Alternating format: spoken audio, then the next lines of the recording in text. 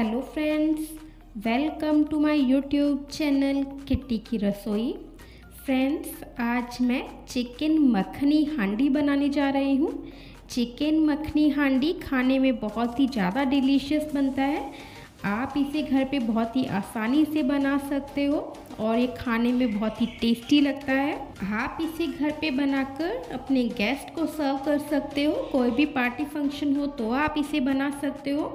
Chicken makhani हांडी के साथ आप चपाती, तंदूरी रोटी, नान, पराठे, कुछ भी खा सकते हो। ये सभी के साथ बहुत ही टेस्टी लगता है। चिकन मखनी हांडी बिल्कुल ढापे जैसा इसे आप घर पर बनाकर तैयार कर सकते हो। तो फ्रेंड्स चलिए चिकन मखनी हांडी को बनाना स्टार्ट करते हैं लेकिन स्टार्ट करने से पहले सब्सक्राइब कीजिए मेरे यूट्यूब चैनल किट्टी की रसोई को और बेल आइकन दबाइए मेरी लेटेस्ट कुकिंग वीडियो सबसे पहले देखने के लिए। चिकन मखनी हांडी को बनाने के लिए फ्रेंड्स सबसे पहले मैंने चिकन लिया है। ये मैंने 800 ग्राम चिकन लिया है और मैंने विथ बोन चिकन लिया है। अगर आप बोनलेस पसंद करते हो तो आप बोनलेस चिकन ले सकते हो। और चिकन को मैंने पहले अच्छे से पानी से धोकर साफ़ कर लिया था और इसे मैंने एक छन्नी में रख दिया था ताकि इसका एक्स्ट्रा पानी जो है वो निकल जाए। अब हमें चिकन को मैरिनेट करना है, जिसके लिए मैं इसमें एक चम्मच अदरक और लहसुन का पेस्ट डाल रही हूँ। एक चम्मच मैं इसमें नमक ऐड कर रही हूँ और एक छोटा चम्मच ही मैं इसमें काली मिर्ची का पाउडर ऐड कर रही हूँ। अब इन सारे इंग्रेडिएंट्स को हम अच्छे से मिला लेंगे, जिसके लिए हम अपने हाथों का यूज़ करेंगे। हम इसे अच्छे से लगाएँगे ताकि सारे इंग्रेडिएंट पूरे चिकन में अच्छे से लग जाए। हमने अदरक लहसुन का पेस्ट और नमक मिर्ची को पूरे चिकन में अच्छे से लगा दिया है। अब मैं इसे आधे घंटे के लिए मैरिनेट करूँगी। जब तक चिकन मैरिनेट हो रहा है तो हम इसके लिए मखनी ग्रेवी को बनाकर रेडी कर लेते हैं। जिसके लिए मैंने टमाटर लिए हैं, टमाटर को मैंने इस तरह से स्लाइसेस में कट कर लिया है। हरी मिर्ची ली है, जिसे मैंने इस तरह से पीसेस में कट करके रेडी कर लिया है।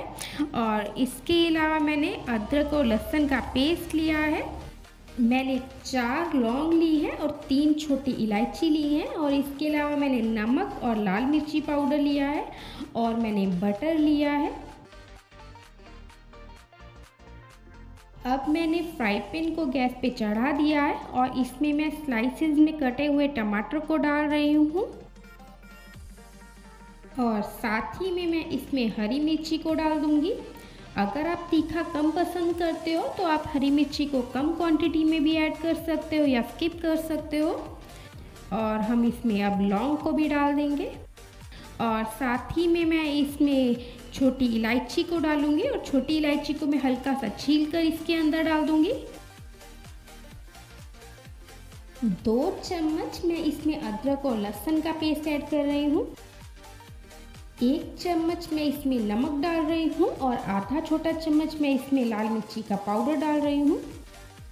अब हम इसमें एक गिलास पानी डाल देंगे। और सारे इंग्रेडिएंट्स को हम अच्छे से मिला लेंगे और पहले हम इसकी ग्रेवी में बॉईल को आने देंगे। ग्रेवी में बॉईल आ चुका है। अब हम गैस को मीडियम टू स्लो फ्लेम पे कर देंगे और इसे ढक्के में चार से पाँच मिनट के लिए पकने के लिए छोड़ दूँगी। चार से पाँच मिनट हो चुके हैं। अब हम इसे चेक कर लेते हैं। टमाटर जो है ये अच्छे से सॉफ्ट हो चुके हैं। अब हम स्पून या स्पैचुला की हेल्प से टमाटर को हल्का हल्का सा प्रेस कर देंगे। ताकि इसका सारा पल्प जो है इसकी ग्रेवी में आ जाए और टमाटर जो है ये अच्छे से मैश हो जाए। टमाटर को हमने अच्छे से मैश कर लिया है। अब हम फिर से गैस को मीडियम टू स्लो फ्लेम पे करके इसे ढक के मैं दो से तीन मिनट के लिए और पकने के लिए छोड़ दूँगी। इसे पकते हुए दो से तीन मिनट हो चुके हैं। अब हम गैस को ऑफ़ कर देंगे। अब मैंने एक ये बाउल लिया है और ये छन्नी ली है। इस छन्नी की हेल्प से हमने जो टमाटर को पकाया है, उसे हम छन्नी से लेकर छान लेंगे। हम टमाटर की ग्रेवी को छन्नी में डाल देंगे और इसे हम स्पून से हल्का हल्का सा प्रेस करते हुए इसकी ग्रेवी जो है उसे निकाल लेंगे। इस तरह से जो टमाटर के छिलके होंगे या हरी मिर्ची के छिलके, लौंग, इलायची जो हमने डाला है, ये सब जो है इसे हम निकाल देंगे और इन सब का जो फ्लेवर है वो इसकी ग्रेवी में आ चुका है। देखिए, सारी ग्रेवी को हमने निकाल लिया है और इसमें खाली टमाटर, हरी मिर्ची के छिलके रह गए हैं। इसे हम हटा देंगे और हमें एक स्मूथ ग्रेवी मिल चुकी है।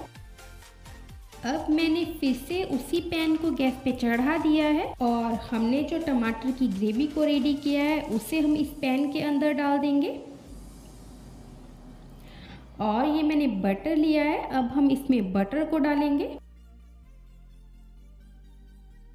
बटर को हम ग्रेवी में पहले अच्छे से मेल्ट कर लेंगे।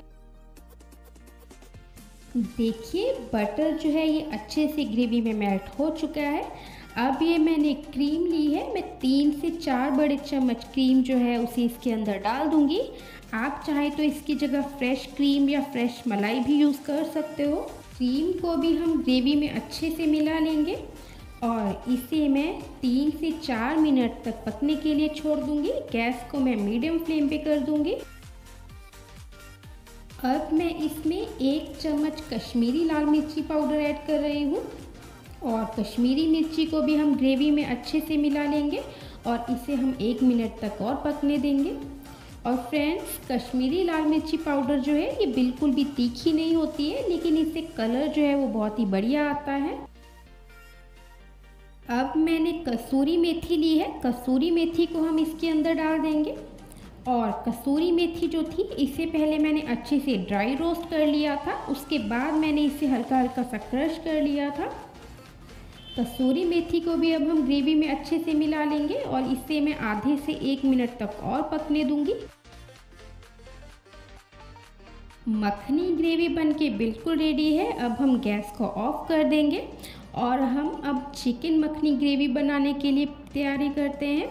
जिसके लिए मैंने प्याज लिए हैं। प्याज की मैंने प्यूरी बनाकर रेडी कर ली है। इसके अलावा मैंने नमक लाल मिर्ची पाउडर, हल्दी पाउडर, धनिया पाउडर, कसूरी मेथी, भुने हुए जीरे का पाउडर और गरम मसाला पाउडर लिया है।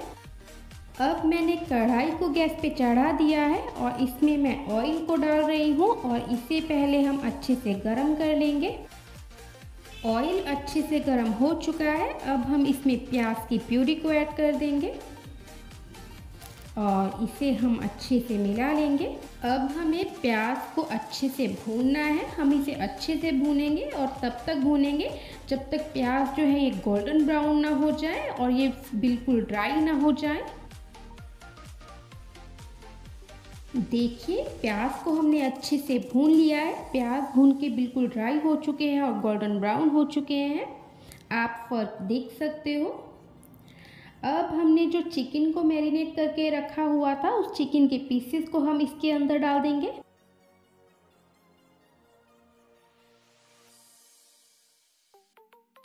चिकन को हम प्याज के साथ में अच्छे से मिला लेंगे। और अब हम चिकन को प्याज के साथ में अच्छे से भून लेंगे। गैस को हम मीडियम टू हाई फ्लेम पे रखेंगे और इसे हम तीन से चार मिनट तक अच्छे से भून लेंगे। चिकन को मैंने प्याज के मसाले के साथ में तीन से चार मिनट तक अच्छे से भून लिया है।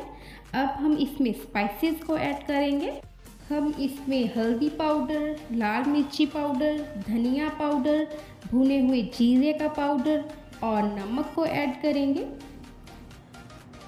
और इन सारे मसालों को हम चिकन में अच्छे से मिला लेंगे।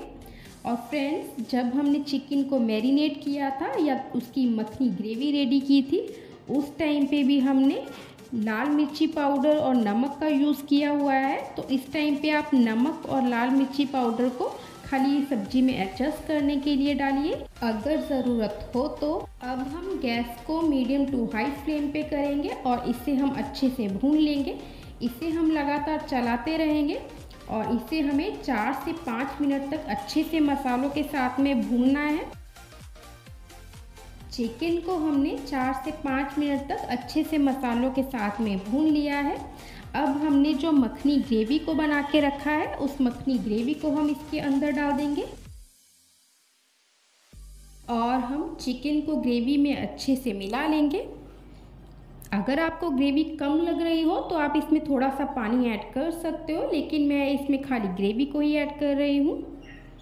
अब हम इसे, इसमें पहले बॉईल को आने देंगे। ग्रेवी में बॉईल आ चुका है।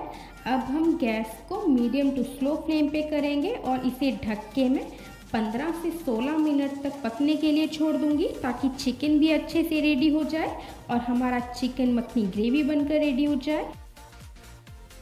इसको पकते हुए 15 से 16 मिनट का समय हो चुका है। अब हम चिकन को चेक कर लेंगे। देखिए फ्रेंड्स चिकन कितना बढ़िया लग रहा है और इसकी ग्रेवी कितनी बढ़िया लग रही है। अब मैं इसमें गरम मसाला पाउडर ऐड कर रही हूँ। और साथ ही में मैं इसमें रोस्टेड और क्रश की हुई थोड़ी सी कसूरी मेथी ऐड कर रही हूँ। और इसे हम अच्छे से मिला लेंगे। चिकन मखनी हांडी खाने के लिए बिल्कुल रेडी है। अब हम गर्मा गर्म चिकन मखनी हांडी को सर्व करेंगे।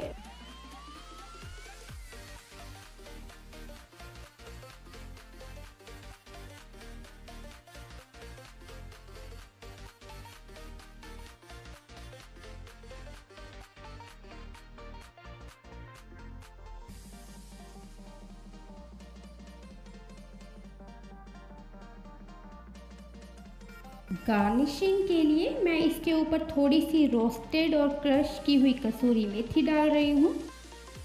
बिल्कुल ढाबे या रेस्टोरेंट जैसा चिकन मखनी हांडी को आप घर पे बनाकर रेडी कर सकते हो। ये आपकी फैमिली में सबको बहुत ही पसंद आने वाला है और जब भी कोई फैमिली गेट टुगेदर हो या गेस्ट आ जाए तो आप उन्हें इस चिकन मखनी हांडी को बनाकर सर्व कर सकते हो। ये उनको भी बहुत ही पसंद आएगा। और आप इसे तंदूरी रोटी बटर नान के साथ में खा सकते हो। तो फ्रेंड्स आप इस चिकन मखनी हांडी को अपने घर पे ज़रूर ट्राई कीजिए और अपने रिव्यूज़ मेरे साथ ज़रूर शेयर कीजिए। और कुछ भी पूछना चाहते हो आप इस रेसिपी के बारे में तो आप मुझे कमेंट बॉक्स में कमेंट कीजिए। थैंक्स फॉर वॉचिंग अगर आपको मेरी ये वीडियो अच्छी लगी हो तो आप इसे लाइक कीजिए और सब्सक्राइब करना ना भूलें मेरा यूट्यूब चैनल किट्टी की रसोई। Thank you friends